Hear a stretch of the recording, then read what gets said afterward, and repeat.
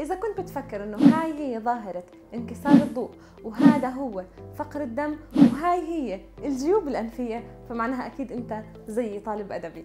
لهيك جو أكاديمي عملت package خاص للطلاب الأدبي بيقدروا ياخذوا فيه الأربع مواد ب 100 دينار.